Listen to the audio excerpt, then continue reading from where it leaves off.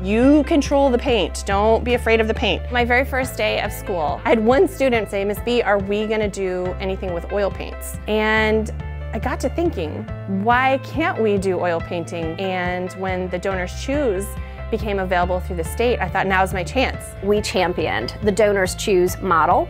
And actually, instead of relying on a community of people to give, we funded that at the State Department of Education with federal relief dollars. These funds not only are tailor fit for a teacher's classroom, but it also will be there for many years to come. I put it out there, and literally the next time I looked at it, it was totally funded. I came to class, I told all my students, we're all like hooting and hollering and so excited. Most of these kids have never had an opportunity to use oil paints at all. All right, now Four. We're It's a lowercase k. Castle, very good. A lot of my kids, when they come in, they don't have those fine motor skills mastered yet.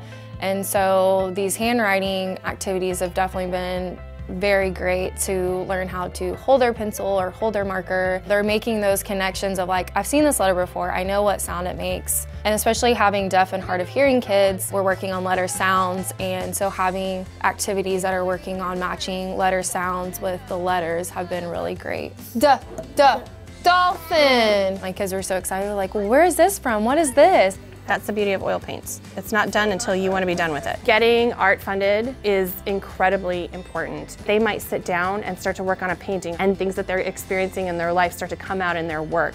And it's very therapeutic for them. So to have funding to be able to provide them with more opportunity to be exposed to different kinds of art means that my job is easier and I get to spend more time building relationships with them. I think it's great and really they're coming along, helping them to develop into the person that they're supposed to be.